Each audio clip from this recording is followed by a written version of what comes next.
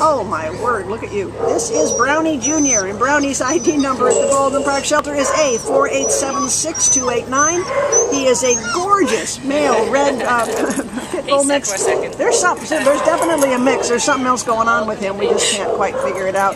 And we basically have one word to describe Brownie Jr. Puppy. He is a puppy. See? Just like that. he is a wiggle puss and a kissy face and just wants to play and, and be around people. Oh, he's a good boy.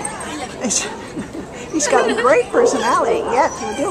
And he, is he going to be a knockout or what? He is so pretty. You are a beautiful, beautiful boy. Look at you. But he is a puppy. He's a blank slate. He's only three months old and he's going to need all the puppy training and the puppy love that you can give him. oh my goodness. Yes.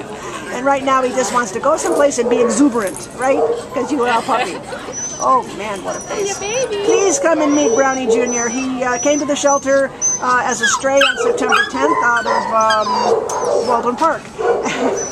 and oh, he's just so, oh I know. Yes, I know. Okay, we're gonna go play. We'll yes, go play. Okay, you go play. So somebody come and help Brownie because he needs a new family and he's looking for help. Bye, sweetie pie. Okay, baby.